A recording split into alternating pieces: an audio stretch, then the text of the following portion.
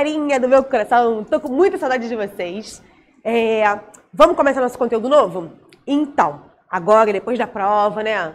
Vocês acharam o quê? Que eu ia dar mole pra vocês? Claro que não. Vamos lá, a gente viu até então o que, né, de novidade assim grande esse ano? Vimos os tipos de sujeito, né? Separar o sujeito do predicado. É, vimos os verbos de ligação e o predicativo do sujeito, não é verdade? Que foram conteúdos muito novos pra gente esse ano, não é verdade? Então, vamos continuar com esse conteúdo novo. Tem bastante coisa nova aí até o final do ano, tá bom? Olha só, vamos falar hoje sobre os verbos significativos. Vimos os verbos de ligação, não foi? Tanto que a gente viu até que o verbo de ligação ele não faz o quê? Quero ouvir, quero ouvir. Ele não expressa ação. A gente fez até uma musiquinha na aula online, não foi? Verbo de ligação, ele não expressa ação. Daqui a pouco eu invento a música para o significativo porque tem mais. Então vai ficar difícil de fazer essa rima rapidinho, tá bom? Vamos lá, verbo significativo. Se o verbo de ligação ele não expressa ação, o verbo significativo faz o quê? expressa ação. Então, lembra daquele verbinho lá que eu falei? Ah, o senhor anda muito preocupado. Esse andar não expressa ação, né? Está indicando um estado do sujeito. E se eu falar assim, o senhor anda devagar? Aí já expressa a ação de caminhar, não é verdade? Então, vamos ver que os verbos significativos, eles têm classificações. E eu vou começar aqui com os verbos transitivos. O que, que são os verbos transitivos? são aqueles que precisam de complemento para que a gente possa entender o sentido dele por completo, tá? Ele vai pedir que tipo de complemento? Esse complemento vai se ligar ao verbo, e ele vai se ligar ao verbo por meio de uma preposição ou não. E aí, o meu verbo vai mudar de classificação de acordo com esse meu complemento, tá bom? Olha aqui o exemplo que eu botei para vocês na letra A. Nós escutamos nossa música favorita. O verbo é escutar, né? Escutar é uma ação, não é verdade? O que, que nós escutamos? Nossa música favorita. Então, quando eu tenho resposta, vocês repararam no que eu falei? O que nós escutamos? Quem escutamos? Nós, né? Sujeito nós, escutamos o quê? Nossa música favorita. Então, sempre que eu tiver resposta para esse o que que eu falei, lembra? Ó, nós escutamos o quê? Nossa música favorita. Sempre que eu tiver resposta para esse o quê, o que vier depois vai responder essa pergunta e vai ser o meu complemento. Repara que entre o meu complemento e o meu verbo, complemento eu coloquei ele de azulzinho e o verbo está destacado é, em negrito. Repara que eu não tenho preposição entre eles. Então, esse meu complemento recebe o nome de objeto direto, objeto direto, e logo o meu verbo vai ser classificado como verbo transitivo direto. Tá bom? Por quê? Porque ele tem um complemento que se liga a ele sem preposição. Então, ele é um objeto direto. Nossa música favorita? Objeto direto. Logo, o meu verbo escutar ali vai ser o quê? Verbo transitivo direto. Ok? Vai acontecer a mesma coisa no de baixo. Transitivo indireto. O complemento que se liga a ele se liga por meio de uma preposição. Ali, ó, eu gosto de sorvete. Repara que o verbo gostar, você não vai conseguir falar o verbo gostar sem usar uma preposição. Você não consegue falar, por exemplo, eu gosto viajar, eu gosto você, eu gosto chocolate.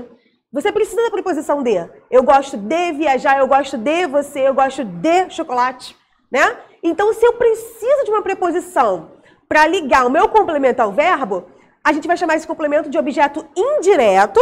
Logo, o meu verbo vai ser verbo transitivo indireto. Viu? Não é difícil. Tem preposição no complemento? O verbo vai ser transitivo indireto. Não tem preposição, o verbo é transitivo direto. Mas aí eu posso ter os dois complementos na mesma oração. E o meu verbo vai ser transitivo direto e indireto. Eu não posso ter nunca, gente, dois objetos diretos, nem dois objetos indiretos. Eu vou ter um de cada no máximo, tá? Olha ali, ó. Ela contou tudo ao namorado. Ela contou o quê? Tudo. Né? O que aconteceu. A quem? Para quem? Ao namorado. Então, repara que eu tenho dois tipos de complemento. O que, que foi falado e para quem foi falado. O para quem foi falado, foi necessário colocar ali uma preposição. Repara que eu tenho o a mais o artigo o, que deu ao, né? E aí, eu tenho a preposição ligando esse meu complemento. Vai ser o meu objeto indireto, ao namorado. E tudo é o objeto direto. Se eu tenho dois complementos, objeto direto e objeto indireto, esse meu verbo vai ser transitivo direto e indireto. Ok? Seguindo, eu tenho outro tipo de verbo, para finalizar a nossa classificação dos verbos significativos. E esse aí, ele é, ó, boladão. Ele é marrento a beça, porque ele não precisa de complemento, meu amor. Ele faz tudo sozinho, ele tem significado sozinho. Ele é pleno, né? Ele não precisa de mais ninguém para fazer sentido. Ele não precisa de um complementozinho para fazer sentido. O que ele vai ter perto dele, na verdade, são algumas circunstâncias, tá? E eu vou falar para vocês o que, que elas vão ser. Aqui o exemplo, ó. É, fui ao teatro. Ricardo foi para a Espanha. Fui ao teatro, é o verbo ir no passado, né? Verbo ir no passado, já foi. Foi, foi, amor. Foi, não tem mais, acabou. Encerrou, assunto encerrado. Não tenho, eu não tenho o que dizer sobre ir. Foi, quem, quem vai, vai, quem foi, foi. Entendeu? Quem quer ficar, fica. O que, que acontece? Esse professor aí, esse é o teatro é o quê? Não é complemento? Não vai ser objeto? Não. Porque se a gente reparar, ele não responde aquela pergunta do o quê que eu fiz lá no outro slide sobre o verbo transitivo. Olha aqui, eu fui, né? Eu sei que o sujeito aqui sou eu por conta da desinência do verbo, não é verdade? Eu fui o quê? Cri, cri. Eu não tenho resposta. Eu fui onde? Aonde? Ao teatro. Para onde? Ao teatro. Eu tenho resposta para a pergunta aonde? Só que aonde não é pergunta que vai me dar como resposta um complemento, um objeto direto ou indireto. Ele me dá aqui uma circunstância, é um advérbio de lugar. Né? Lembra que a gente aprendeu que os advérbios exprimem circunstâncias? E eles se ligam a um verbo, um advérbio ou a um adjetivo? Aqui está ligado ao verbo, o verbo ir, no passado.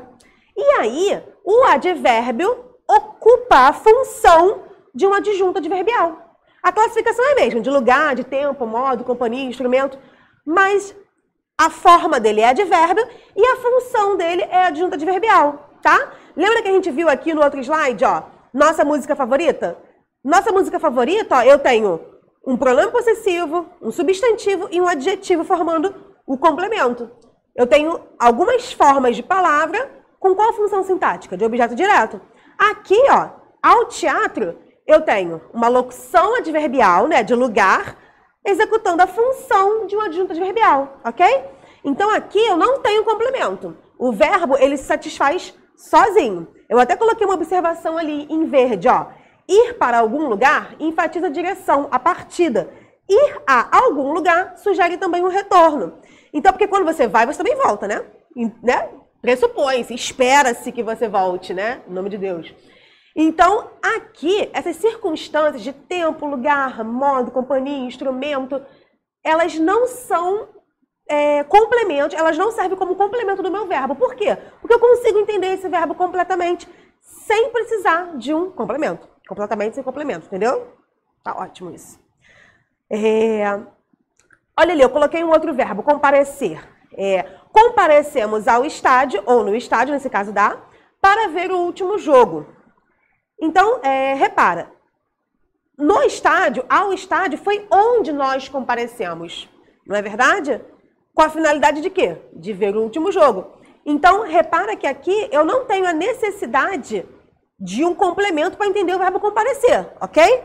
Onde eu compareci é a circunstância, o advérbio, é o adjunto adverbial, tá? Por exemplo, você fala assim, é, meu primo nasceu ontem. Meu primo é o sujeito, né? Nasceu é o verbo. Ontem foi quando ele nasceu, é o tempo em que ele nasceu. Não é complemento do verbo nascer, né? Minha vozinha morreu. Morrer também, quem morre, morre. Eu não tenho complemento para esse tipo de verbo, tá? Do que que ela morreu, quando ela morreu, né? Onde ela morreu, isso daí já é adjunta adverbial, é a circunstância, não é complemento, tá bom? Então, eu preciso que vocês entendam isso direitinho para a gente poder agora fazer o quê? Classificar os predicados. Eu ia falar de verbos, mas a gente já aprendeu isso. Classificar os predicados, tá? Porque a gente já sabe separar sujeito do predicado. Já sabemos classificar, classificar verbo e o complemento. Já sabemos identificar aqui o adjunto, que é a circunstância em que o verbo acontece. Vamos aprender a classificar os predicados, tá bom? E no nosso próximo vídeo é o que a gente vai ver, tá? Qualquer dúvida, vocês anotem. Não esqueçam de falar e a gente tira na nossa próxima aula online, tá bom? Um beijo grande.